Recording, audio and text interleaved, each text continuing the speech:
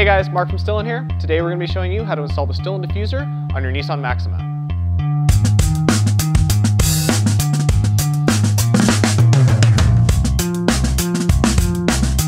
Alright, so first thing we're going to do is test fit the diffuser, make sure everything lines up correctly.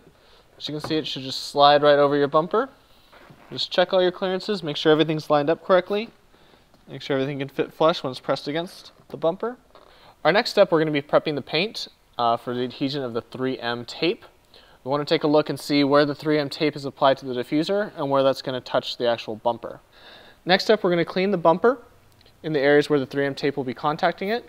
For that, we're going to be using our Wurth Surface Prep solution. Next, we're going to apply applying our 3M adhesion promoter to ensure a good bond with the 3M tape.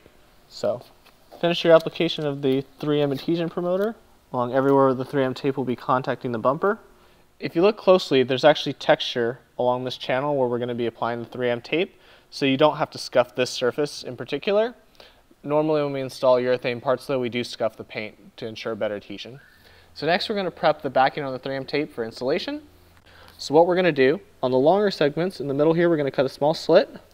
We're going to peel a small segment back and tape it down to the diffuser like this with some masking tape. This will make installation a lot easier. Okay, for the very small segments we can just simply remove the backing a little bit then we get to the next long segment, which will be this stretch, and tape it down to the diffuser like this with some masking tape. Okay, for this next step, it's helpful to have a second set of hands.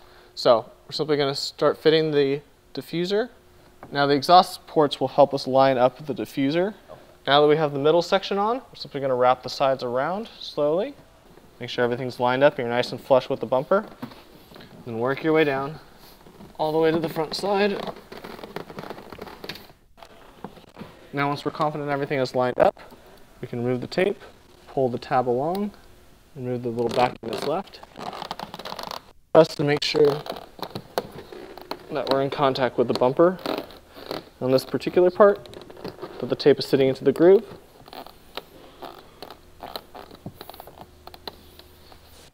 Now that we have the diffuser adhered, all we got to do is add the screws at the end. So the last step following the instructions is you want to place your self-tapping screws. So the directions will show you about where to place the screws. Just want to make sure you line everything up, apply good pressure, and screw the screws in. Well, that's all for today. Thanks so much for watching. And if you have any more questions, feel free to give us a call or shoot us an email. Don't forget to like, follow, and subscribe, and stay tuned for more videos from Stillen.